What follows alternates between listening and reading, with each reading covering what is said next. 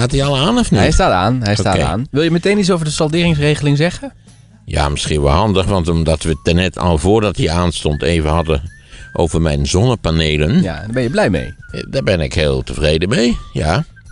Blij is een groot woord dat je dus ochtends wakker wordt en denkt... Oh, de zonnepanelen, ik ga even kijken. Maar ik moet wel zeggen, je krijgt er een app bij... waardoor je kunt zien eh, of ze een beetje functioneren, ja of nee. En ik moet zeggen, zodra de zon schijnt, wat nu dus helemaal niet het geval is...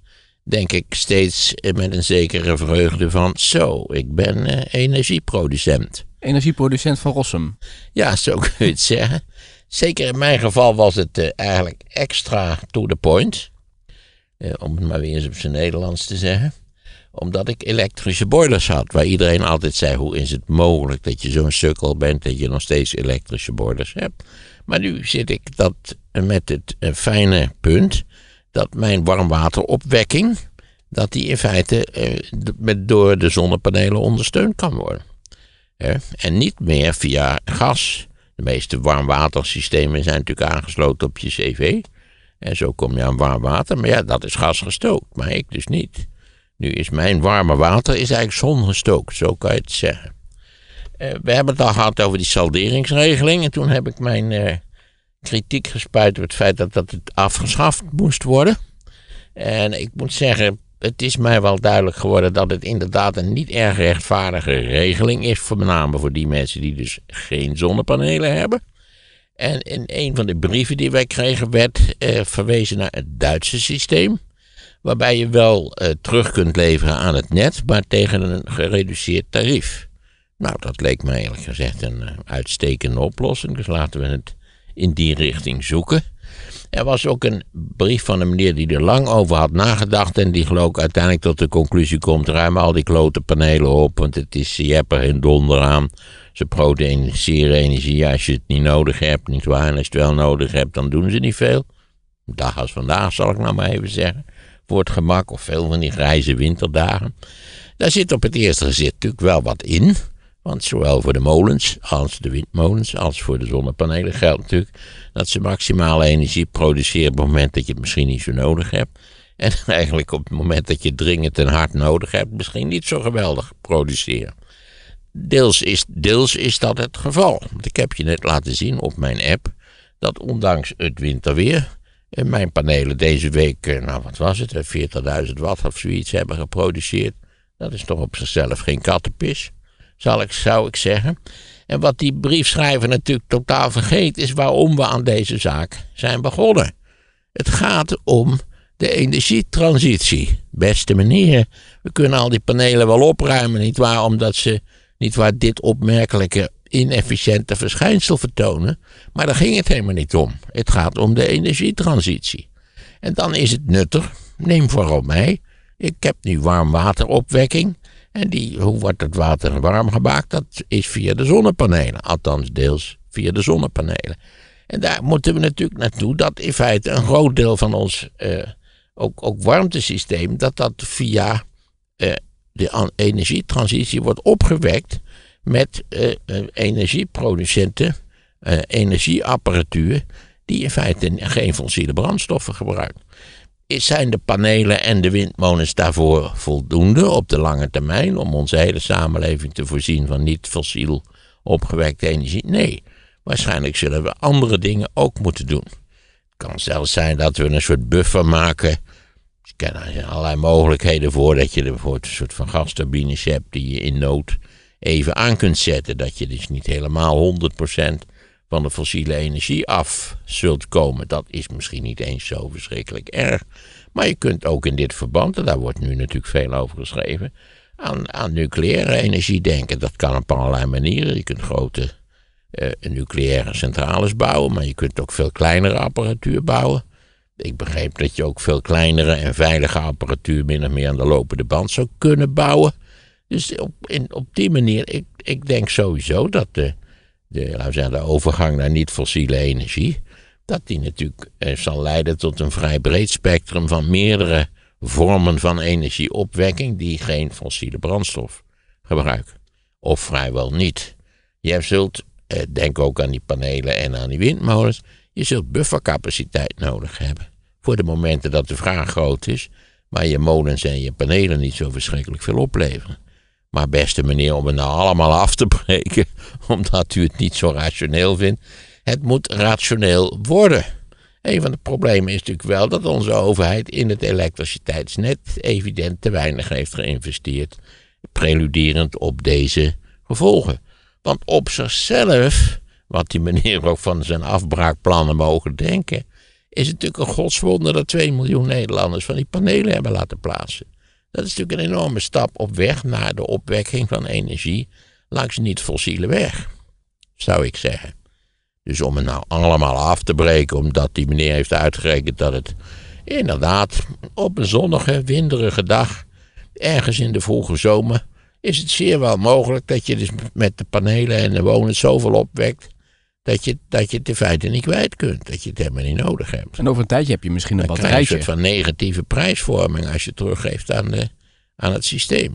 Tenzij je een batterij daar neerzet, straks, waar ja, je een batterij, dat is natuurlijk een mogelijkheid. Je hebt allemaal van die ontzettend leuke dingetjes dat je je elektrische auto voor de deur zet en dan met een schakelaartje ervoor zorgt dat de batterij van je auto, dat die in feite het excess aan elektrische energie opneemt.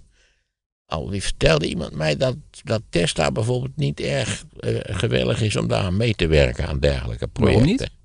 Dat weet ik niet. Dat zou ik even uit, dat zou ik uit moeten zoeken. Maar allerlei mensen hebben al geschreven dat dit een handige oplossing is. Dat je dus ergens in je meterkast een forse batterij zou zetten. Ja, dat, dat kan. Technisch is het mogelijk, dus ja, waarom niet eigenlijk? Heb je de smaak ook te pakken dat je denkt van nu ga ik ook meteen voor de warmtepomp? Nee, want ik heb een advies ingewonnen en mijn huis is niet, niet geschikt voor een warm- warmtepomp. Dat heeft met Daar zijn isolatie te allerlei maken. varianten op, op de warmtepomp. En je zou kunnen denken aan een hybride installatie met een warmtepomp ge- ge- gecombineerd met een cv-ketel. Maar die meneer leek het niet zo geweldig. Dat was die meneer die ons een brief had geschreven dat hij graag bereid was mij te adviseren. Omdat ik juist toen in een wanhopige fase was, een dagflikker op met al Ja. die dingen. Want daar heb je ook vloerverwarming voor nodig, hè, voor een warmtepomp. Ja, dat ook. En dat een, een nieuwe vloer erin zetten, dat is eigenlijk dat is mijn intentie niet. Mhm. Ik moet nu de kruipruimte nog isoleren. En ik kan eventueel de kieren van het huis laten onderzoeken. Maar eh, ik vind dat ik al aardige stappen gezet heb. Mhm. Ja, inderdaad, de Want warm... ik heb het dak waarop de panelen geplaatst zijn, heb ik laten isoleren. Dat is een belangrijke voorwaarde ook bij de warmtepomp, hè, isolatie. Ook in je muren. Is- Zijn jouw muren nu goed geïsoleerd?